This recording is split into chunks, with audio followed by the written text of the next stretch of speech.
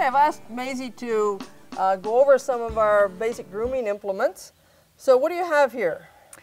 Well, here I have a nice rubber curry comb, which is used in a circular motion on the horse first when you first start grooming to get off the real crusty dirt and bring other dirt that's underneath the hair up to the surface of the coat. Mm -hmm.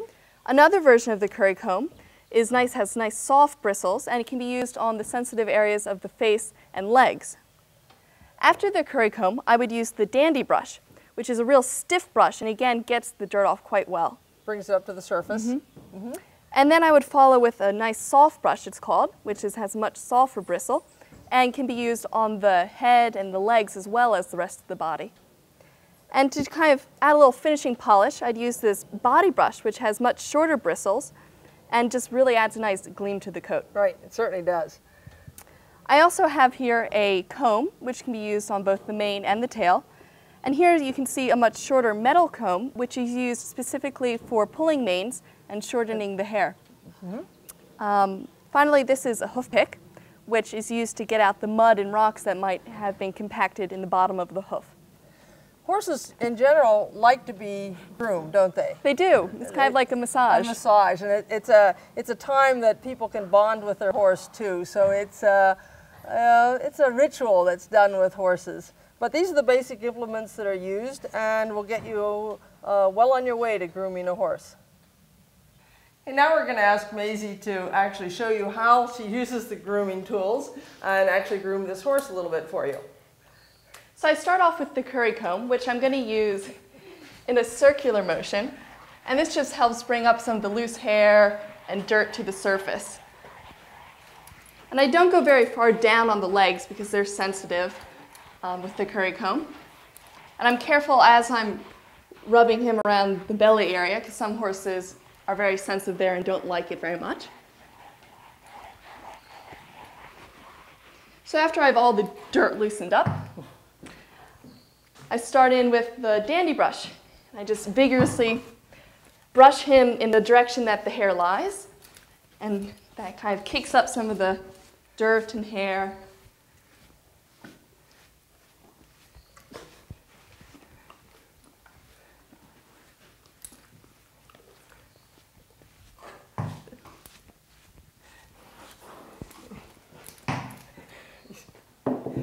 then I follow with the soft brush, which I can, because it's nice and soft, I can take down onto his legs and clean them up. Again, just get some of the dirt and hair that's left over. To notice how with each successive brush, brushing, um, you're getting more of the dirt away, you're getting more of the shine of the coat to appear. And I have to use a fair amount of elbow grease too um, to really get that dirt off. And then I'll finish off with the body brush, but especially with these short hairs that it has, I have to make sure that I keep cleaning it. So I'll just rub it against the curry comb. You can see that'll knock off any hairs or dirt that is stuck to the brush. Now you want to make sure, in a, particularly in a hospital situation, that you're only using um, the brushes that are assigned to that animal. In other words, you're not taking brushes and curry combs from one animal to another animal because you can transmit skin diseases that way. That would particularly upset a, a client in a, in a hospital situation. And also after that patient might go home, then you'd really want to wash, sterilize the, the, the brushes and curry combs that way. Then when you finish, I'll often then just go to his head and I'll take the soft brush again. And just being careful not to go directly over his eyes, but I'll brush his face off. And if there's any dirt or gunk that's kind of gathered around his eyes or nostrils. I'll just wipe that off with a rag. His eyes are pretty clean. See how he really likes that? He, he like, they usually like the whole grooming process because it's a time that uh, they get massaged and touched all over and it's a time that they can sort of commune with their, with their owner, their, their groom. And so most of the horses really do appreciate it, don't they? Yes, and it's also time for me to really look over the horse carefully and make sure they don't have any little cuts that yeah, or anything. something that might you might not notice, notice otherwise.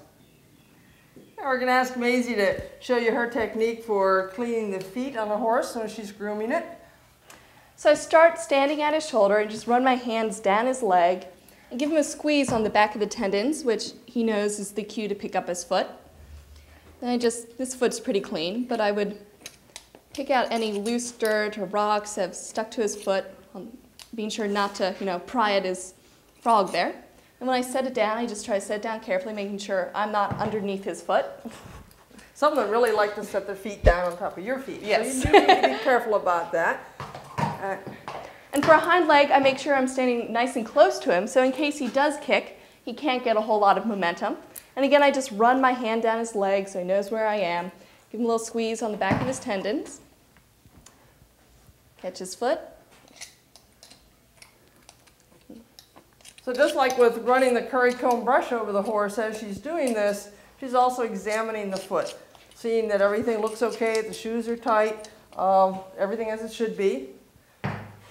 And notice as she sets that foot down, again, particularly in the back feet, you want to pay a lot of attention to the horse and see that um, you know everything's ready for you to set it down and that you have yourself positioned properly. But that's um, pretty much goes through the grooming of this, and thank you very much, Maisie. And we'll go on to our next segment.